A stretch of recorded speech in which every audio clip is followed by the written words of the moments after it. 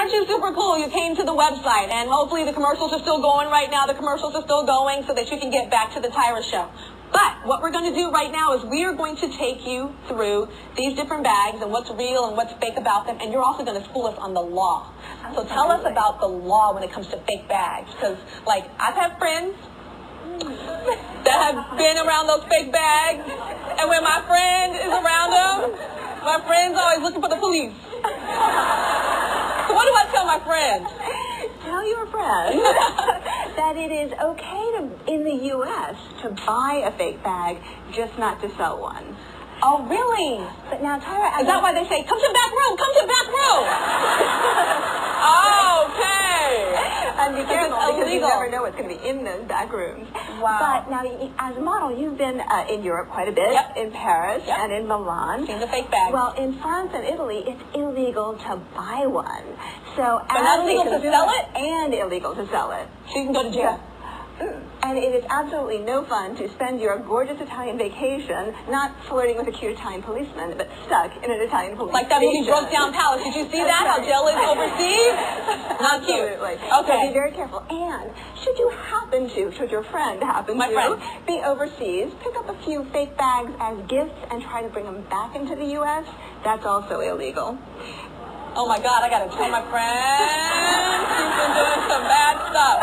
Okay, start with All this right. bag. But What's if, going on? If a bag is hot, it is going to get knocked off. So here we have a, a an ostensibly a Prada bag, Yeah. right? But you see the design is a Fendi design. This is a Fendi B bag. Oh my God, this is a Fendi design with a Prada logo.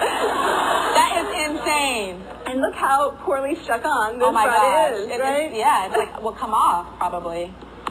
There you go. Two metal bronze. Okay. okay. And we have our Louis Vuitton, right? Classic knockoff. This one's real. This one's fake. Why, How- though? How do you tell? Look at the printing. Here, Oh. you can see the brown right through the pink. Yeah. Here on this gorgeous Mur- uh, Takashi Murakami cherry blossom, the printing is beautiful. You're right. And this printing, the blue is a little like turquoisey and too bright and like cheap looking. That's right. All right. All right. Coach, right? Hot American label. Yeah. Uh, but plenty of knockoffs. The coloring is already is very different The too. coloring is different. This leather stripe should not be there. Oh. And if it were there, the stamp says leatherwear. Oh, oh, really? It says otherwear. They just a bad job. Oh my God. So, check the spelling. It says, oh my God, it says otherwear. Is that a mistake or are they just trying to do it so they don't get sued? No, that's a mistake. That's just a somebody like, I went to school and I'm going to print it up. I don't know how to spell. Okay. Even better, if you look inside these, the real one says made in China where it was. The fake one says made in USA. I doubt it. Okay. okay? And see, that's a hard one because you would think Coach sounds American, so you think made in USA, like American Apparel, made in USA. Yay, wrong. Okay. On, on our Chanel, we've got a real and a fake. On the fake, we've got crooked letters. We've got Oh my gosh, more dental floss. More dental floss. Anybody have some tuna and teeth?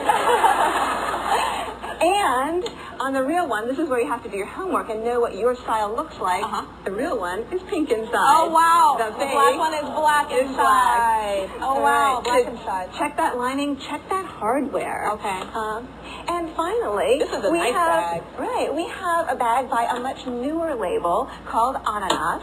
Ananas. Um, here she's done it beautifully in leather. Gorgeous. I like the teak rings.